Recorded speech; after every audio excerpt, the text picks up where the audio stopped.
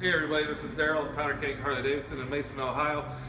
If you're looking for a bike, now is the time. I've got over 200 bikes in the building, and right now I am paying retail for retail on your trade toward any 2020 in stock. You heard me right, retail for retail, any 2020 in stock. I'll take your Honda, your Yamaha, your Harley. If it's got a VIN, bring it in.